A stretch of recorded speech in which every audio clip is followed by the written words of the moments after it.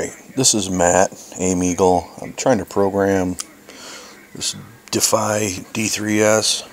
says, and apparently I've got the Ronin board. This has got the tournament lock on it right here. You know, and it looks, you know, identical. The other board, this SQ, this the original, whatever you want to call it, the V1 board is in the case. So, okay, it says to pull the trigger. Okay, obviously it does activate my, the, you know, the micro switch. I'm going to just turn it on. Okay, first, this is the weird thing. Okay, eyes are on, eyes are in. I'm blocking the breach right now, but it still flashes green. Now it shoots put my finger in there, okay? Obviously you can see the tripper, okay, and hear it. If I pull my finger out, okay, but if I turn the eyes off, it's supposed to flash red, but it's orange, okay, which according to the menu is an eye malfunction. But, okay, obviously it shoots just as if the eyes are off. And if you look down, these are the eyes are back on. So when you pull the trigger, you should see the red light up. Okay, like, okay, hey, there's nothing in here. Alright, well anyway, back to the programming part. This is going to be a long video and I don't want it to be. Alright, if I pull the trigger, push the power button, green light comes on. Let it go. Okay then nothing. It's supposed to toggle through.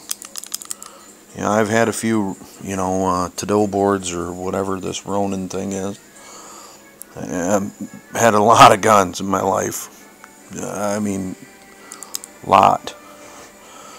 But if I okay now we're gonna program or try to enter program again. Green light let it turn off. Oop, and then there's this orange light. Okay. Okay, and you can see if you toggle it does nothing. Okay, it's still this stupid orange light flashing. Okay, and it's going to flash however many times. Let's see. One, two, three. Okay, now I can make it by just for whatever reason pushing this, the eye button, now it'll flash five times. One, two, three, four, five. Okay, you can't make it flash any more than that. Okay, I can make it flash less.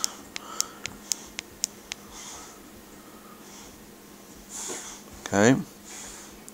Now I can make flash twice. And hell if I know what the trigger's doing. Okay, pull it, hold it. Obviously the, uh, the, what do you call it? The tournament lock is in the off. Um, the picture is going to be a lot clearer. And hell if I know what I'm doing with this thing.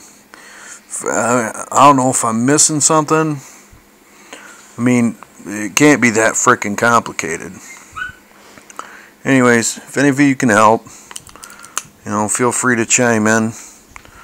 You know, I hate to bother anybody over programming, you know, a gun, but you know, for the love of me, I can't figure this thing out, and I'm ready to. This gun's gonna be a paperweight. Anyway, man, thanks.